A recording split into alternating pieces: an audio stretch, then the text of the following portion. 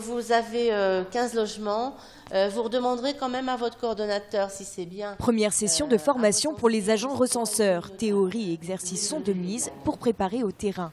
Car si sur le papier tout paraît simple, ça l'est beaucoup moins en pratique. On peut avoir une adresse précise, puis finalement elle se trouve dans le fin fond d'une cour où il n'y a pas de numéro sur les, sur les maisons.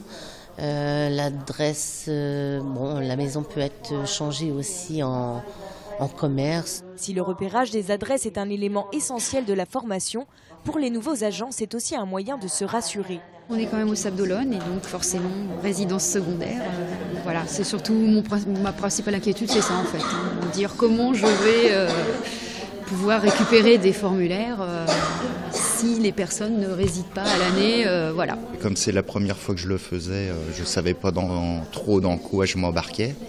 Et on y voit un peu plus clair. Depuis 2004, chaque année à la même période, 8% de la population est sondée lors du recensement. Ça permet d'établir la population légale de la commune, ce qui permet bah, d'avoir les chiffres pour la dotation euh, financière de l'État, mais également savoir le nombre de places en crèche, le nombre de places pour les écoles.